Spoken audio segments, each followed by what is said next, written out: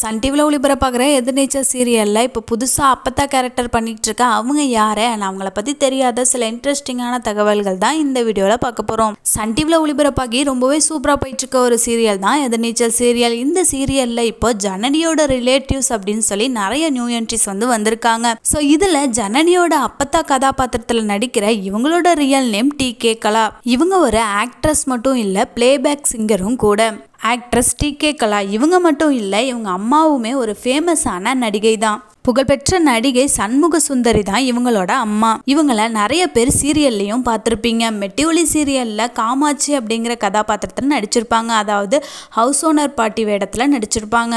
And அதுக்கப்புறமா director Thiruchelvam அவங்களோட இயக்கத்தில் வெளியான கோலங்கள் சீரியல்லையும் சுந்தர் அவங்களோட அம்மாவாக ஆக்ட் பண்ணியிருப்பாங்க அண்ட் அது மட்டும் இல்லாமல் சன் டிவியில் ஒளிபரப்பான அகல்யா இந்த சீரியல்லையுமே இவங்க நடிச்சிருப்பாங்க.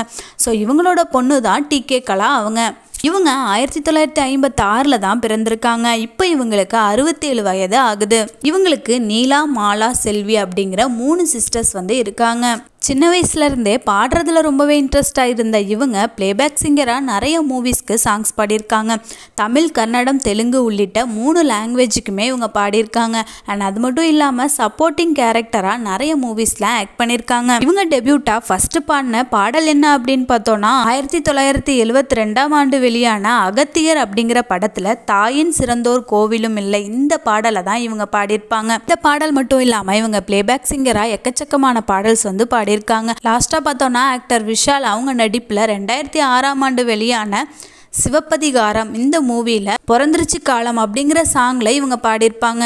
ஸோ இப்படி இந்தியன் பிளேபேக் சிங்கராக இருந்த இவங்க ஆக்டிங்லையும் இறங்குறாங்க. ஸோ ஆக்டிங்கில் பார்த்தீங்கன்னா எல்லாருக்குமே தெரிஞ்சிருக்கும் கில்லி மூவியில் ஆக்டர் பிரகாஷ்ராஜ் அவங்களுக்கு அம்மா கேரக்டரில் நடிச்சிருப்பாங்க. அண்ட் அது மட்டும் இல்லாமல் ஆக்டர் விஜய் அவங்க நடித்த படமான குருவி இந்த திரைப்படத்திலையும் வேலுக்கு அம்மா கேரக்டரில் நடிச்சிருப்பாங்க. இந்த திரைப்படத்தை தொடர்ந்து வெயில் பிரிவோம் சந்திப்போம் நீ உன்னை அறிந்தால் மாசில்லாமணி மகிழ்ச்சி உள்ளிட்ட சில திரைப்படங்களையும் இவங்க நடிச்சிருக்காங்க.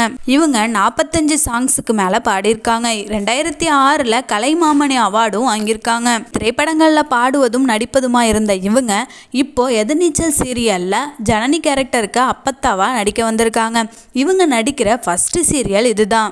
எதிர்நீச்சல் சீரியலில் ஜனனி கல்யாணியோட அப்பத்தாவா நடிக்கிற ஆக்ட்ரஸ் டி கே கலா அவங்களும் உங்களுக்கு எவ்வளோ பிடிக்கும்? எதிர்நீச்சல் சீரியல் எவ்வளோ பிடிக்கும் அப்படின்னு கீழே கமெண்ட் பாக்ஸில் சொல்லுங்கள் தொடர்ந்து நம்ம சினிமை சேனலுக்கு சப்போர்ட் பண்ணுங்கள் அண்ட் சப்ஸ்கிரைப் பண்ணுங்கள் நன்றி.